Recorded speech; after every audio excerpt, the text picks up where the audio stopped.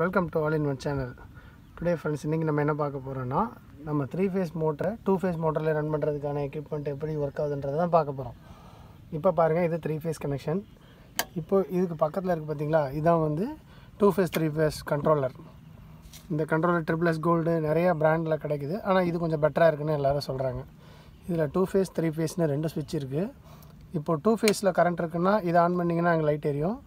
Three ஃபேஸில் இருக்குன்னா இங்கே லைட் எரியும். வாங்க இது உள்ள எப்படி இருக்குன்னு பார்க்கலாம்.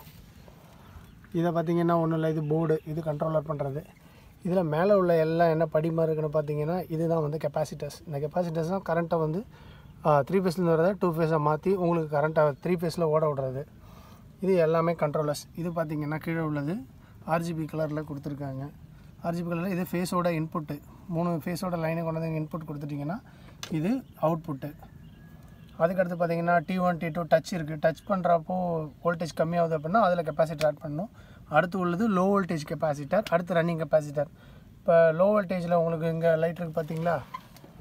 இந்த லோ வோல்டேஜ் லைட் எரியுதுன்னா நீங்கள் இந்த செகண்ட் ஒன் இருக்கு பாருங்கள் அதில் ஒரு கெப்பாசிட்டர்ஸ் ஐம்பதோ இருபத்தஞ்சு அந்த மாதிரி ஏதாச்சும் கெப்பாசிட்டர் ஆட் பண்ணிங்கன்னா மோட்டர் ரன் ஆகும். கூட கொடுக்கக்கூட கூட கொடுத்தீங்கன்னா மோட்டர் வீணாக போயிடும்.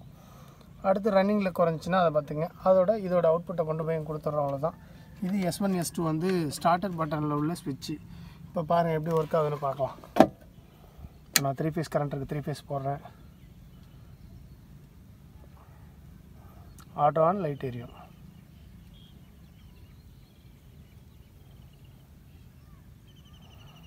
வோல்டேஜை சென்ஸ் பண்ணுறதுக்கு டைம் ஆகும்.